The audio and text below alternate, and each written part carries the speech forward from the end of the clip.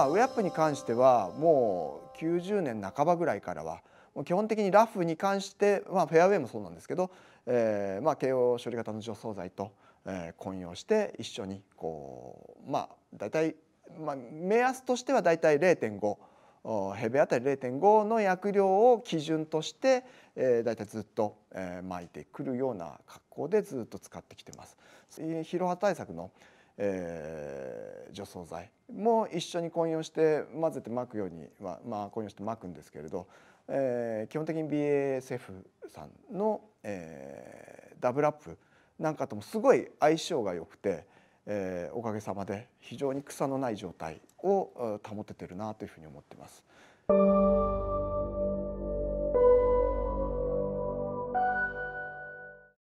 良し悪しはあるんですけど黄色い色っていうのがどうしてもつきやすいボールについちゃったりとかお客さんのスパイクについちゃったりとかっていうふうなのは多分あるとは思うんですけれどうちでもそんなに大きいトラブルとかは意外と少なくてでその際やっぱり、えー、転着剤をうまくいいのが最近たくさん出てきてるんでそういうの必ずまあ形容処理型の除草剤巻く時は大体えー、混用されてるとは思うんですけれどそれを必ず入れてあげるとその黄色さっていうのも他のものに白いものとかにくっついちゃったりするリスクも減るんでその辺はあの転着剤を可用して使われるとすごい良いかなというふうに思います。ただやっぱり水道だったりとかスプリンクラーヘッドの周りとかっていうのはどの除草剤もそうなんですけれどどうしてもちょっと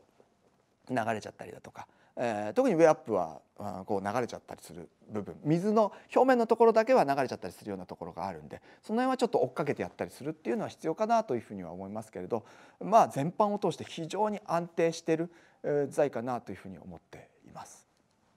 BASF We create chemistry.